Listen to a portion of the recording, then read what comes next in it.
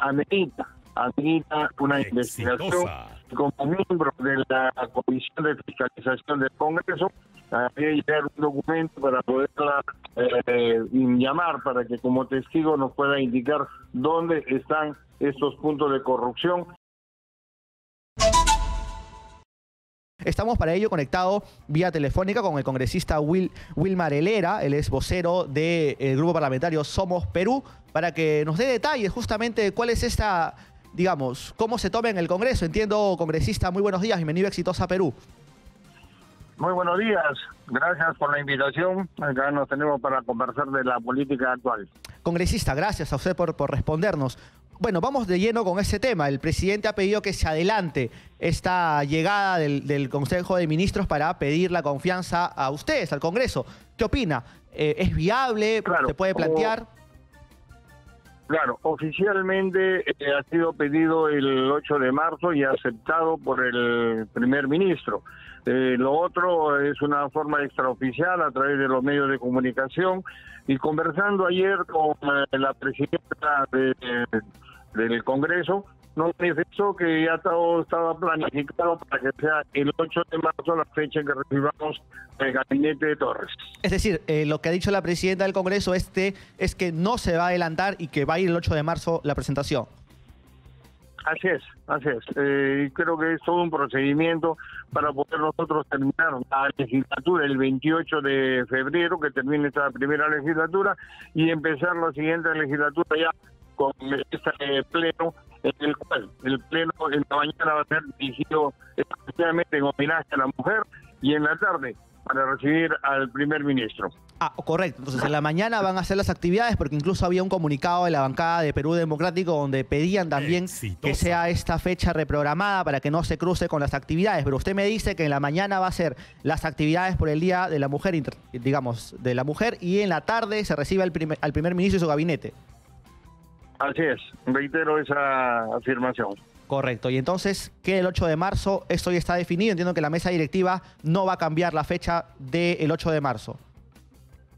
Al menos hasta hoy día, eh, en la mañana, yo eh, sostengo de que debe ser el 8 de marzo, fecha aceptada por el señor Aníbal Torres, primer ministro del Perú. Bien, bueno, vamos a ver, eh, veamos cómo se va este tema de la fecha, pero hay algo de fondo congresista. De hecho, usted lo dijo el día que se reunió con el presidente, con el primer ministro Aníbal Torres.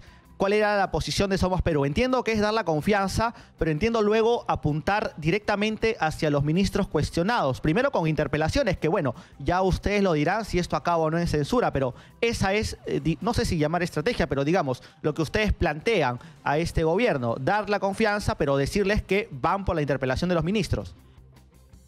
Así es, es que nosotros queremos que el Estado peruano, para que pueda funcionar, tiene que tener un gabinete aceptado por el Congreso y un Congreso que realmente sea fuerte y sea reconocido también por, el, por las instancias correspondientes.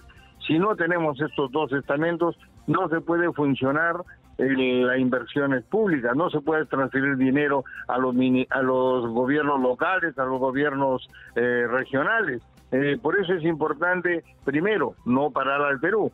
No parar al Perú implica darle un voto de confianza al gabinete, pero los ministros observados sí tenemos que interpelarlos. Hay una serie de ministros que no tienen el perfil técnico adecuado para que se puedan desempeñar dentro de lo que es sus carteras y en ese sentido nosotros vamos a, proceder a interpelar a cada uno de ellos en la medida que veamos que no tienen ningún acto de gobierno que sea positivo para el desarrollo del Perú. Ahora, congresista, eh, usted eh, no sé si comparte esta, esta opinión, pero digamos, luego de esta especie de tregua que se ha dado entre el Ejecutivo y el Legislativo, para muchos la lectura es de que el deseo es, como se dijo en un momento, que se vayan todos, que no se vaya nadie. Que ni el Ejecutivo sea tocado, ni sea tocado el Congreso. ¿Usted, usted lee así esta posición que tomó, por ejemplo, la señora eh, María del Carmen Alba en esta conferencia que dio en el Congreso de la República? Bueno, no sé si hemos coincidido, pero el día de ayer que nos reunimos con el primer ministro, cuando hice uso de la palabra, le manifesté ni disolución del Congreso, ni tampoco vacancia presidencial. Bajo esa premisa tenemos que sentarnos a conversar y a ponernos de acuerdo. No puede ser de que estamos dos poderes del, del Perú en total contraposición y quienes pagan eh, este, este desunión, la paga el pueblo. Por eso es que es importante que demos muestras de trabajo, muestras de unión, muestras de concertación, porque la reactivación económica todavía está pendiente, la, la cantidad de trabajo que necesitan los peruanos todavía no está desarrollada queremos dar confianza a los inversionistas. Esperemos que después de esta eh, eh, confianza que le demos al gabinete, los inversionistas saquen su dinero y puedan crear más puestos de trabajo. Ahora, congresista, todo eso está pendiente en el Perú. Eh, ¿A quiénes apuntan ustedes en caso se dé la confianza al gabinete? ¿Qué ministros tienen ustedes claros que irían por una interpelación? Bueno, a mí me parece el tema del ministro de Agricultura, ¿no? Un ministro que no tiene mayor experiencia que capaz de haber sembrado hortalizas en su casa. Es un profesor, debe ser un buen profesor, pero como ministro de Agricultura no creo que tenga el fajín para que pueda eh, desarrollar la agricultura que se necesita, que es muy complicada en todo el Perú. Otro ministro que también vemos que puede eh, ser interpretado es el Ministerio de Energía y Minas, ¿no?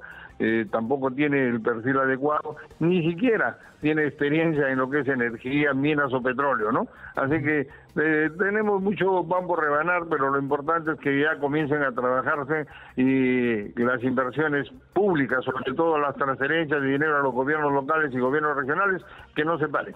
Ahora, claro, eh, entiendo que también está en, este, en esta lista el ministro de Salud, o ustedes no lo consideran, digamos, necesario interpelar al ministro de Salud, o creen que ya respondió lo que tenía que responder en comisiones. Sí, tiene razón. Me he olvidado del ministro de Salud. También debe estar en esa lista de los eh, posibles interpelados que van a ser después de que se lee el voto de confianza. Ahora, congresista, ¿y qué sucede con el ministro de Transportes y Comunicaciones, Juan Silva? Porque eh, pareciera que se hace intocable el ministro, pareciera que no hay ni del Ejecutivo ni del Congreso una intención por lo menos de ustedes como poder eh, del Estado, de preguntarle qué está bien y qué está mal. Hace poco ha renunciado una viceministra, en un comunicado deja entender que está convertido en una agencia de empleo. Si luego sale un correo electrónico más íntimo donde la señora Caballero habla incluso hasta de corrupción en el Ministerio de Transportes y Comunicaciones. Sí, realmente muy preocupante lo que ha presentado ayer la viceministra Caballero a las 4 de la tarde con 16 minutos veo que ha ingresado un documento en el cual nos deja sorprendidos al Congreso y a todo el Perú. Eh, yo no pensé que esto estaba sucediendo al interior del Ministerio de Transportes.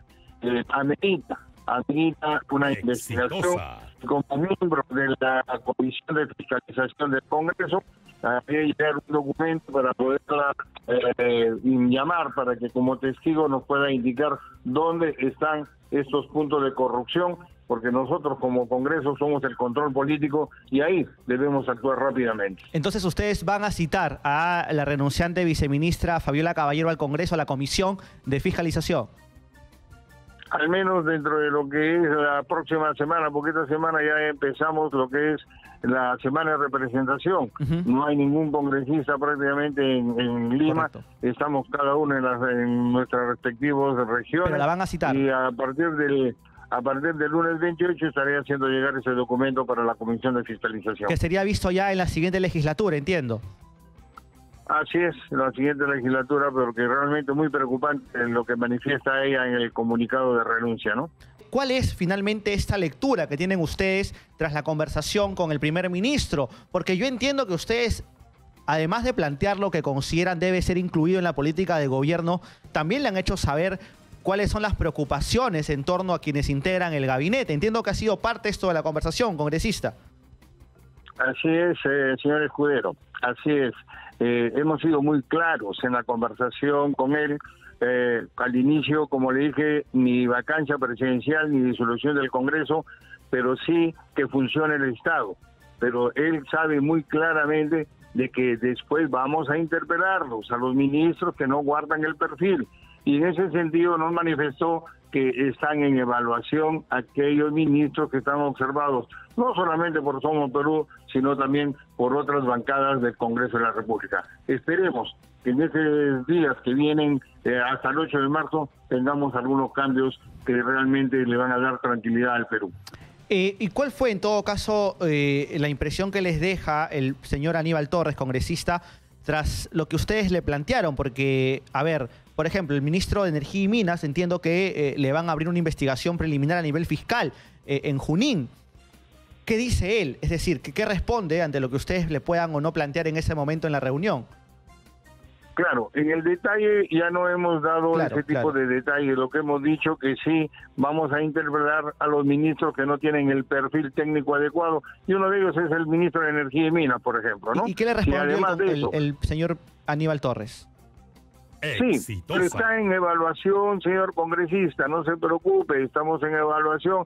Esa fue su respuesta. Eh, por eso espero que estas reuniones, estos diálogos con el primer ministro tengan el éxito de poder ir puliendo poco a poco un gabinete, ¿no? Eh, el 8 de marzo todavía está un poco lejos para que el ministro y el presidente, que de acuerdo a la Constitución es el único responsable de la designación de los ministros, pues tengan la oportunidad de rectificarse y poner ministros que realmente tengan el perfil adecuado para poder trabajar en tranquilidad y en armonía con el Poder Legislativo. Eh, congresista, ya para, para ir cerrando, y, usted cree, es decir, porque a ver, eh, la lectura es la siguiente, ¿no? Cuatro gabinetes en poco más de seis meses de gobierno, eh, más de una designación cuestionada, esta actual eh, también tiene más de, más, de un, más de un cuestionamiento. ¿Hay confianza en que el presidente tenga no sé si la capacidad, pero por lo menos la lectura política de no seguir cometiendo errores? ¿Usted cree que esto es un tema más estructural o es un tema básicamente de una decisión acertada o no que deba tomar el presidente Castillo?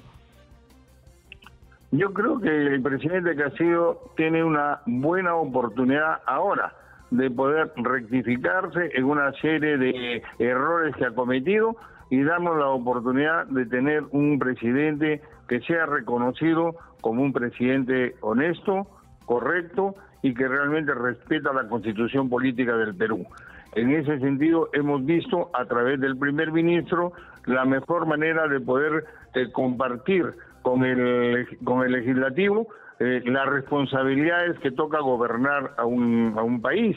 Y yo creo que podemos darle el beneficio de la duda como por última vez. De ahí para adelante, como Perú también tomará las precauciones de no estar apoyando, apoyando, porque nuestro partido es un partido de centro. No somos ni de derecha ni de izquierda y tampoco tenemos ningún compromiso con Perú Libre para poder apoyar en todo lo que ellos pongan de por medio. Nosotros eh, tenemos nuestra votación de conciencia. Yo, yo ahí quería llegar, porque claro, ustedes le dan esta oportunidad, ya me ha dicho que en todo caso eh, ni cierre del Congreso, eh, ni vacancia, pero ¿qué pasa si esto se vuelve insostenible? ¿Qué pasa si el presidente se vuelve a equivocar?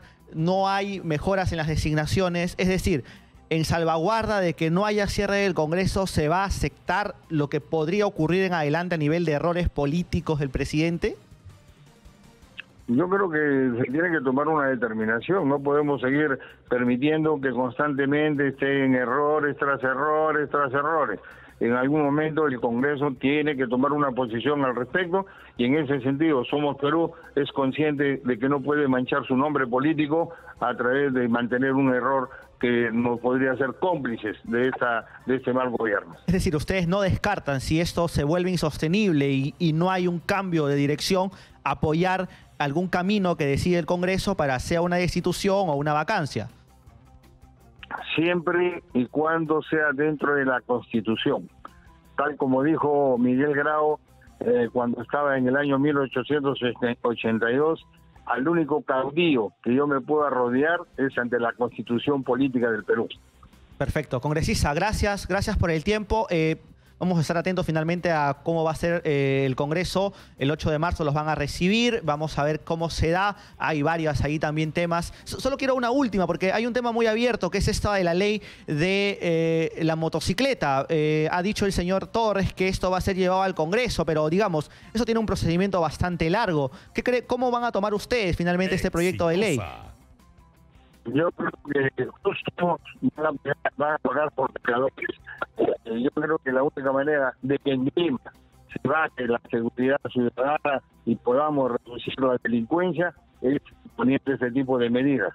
Ya lo explicó también el primer ministro que esto en provincias donde es el medio de comunicación está lineal no va a tomarse en cuenta en otros lugares del Perú. Pero en Lima sí creo que debería la pena que esto sea una ley que permita bajar la delincuencia. ¿Y qué opina usted? Porque, digamos, en la conferencia de prensa el señor Aníbal Torres lo anuncia, dice, bueno, hemos aprobado, lo dice el ministro del Interior, pero en realidad no hay nada en realidad aprobado, porque, digamos, los caminos eran o un decreto supremo o, el Congreso. Yo entiendo que es más por el Congreso, porque hablamos de cambiar la ley de transporte en nuestro país, eh, pero, digamos, anunciar algo digamos, que ha generado tanta situación, han habido marchas y todo, cuando aún en realidad no hay nada concreto, creo, cree que fue oportuno, se debió esperar que esto esté por lo menos encaminado.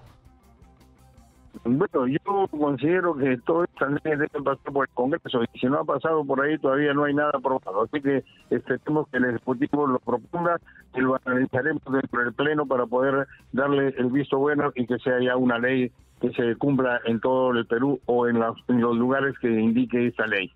Perfecto, congresista, muchas gracias. Gracias por la comunicación. Era el congresista Wilmar Helera, él es vocero de la bancada de Somos Perú.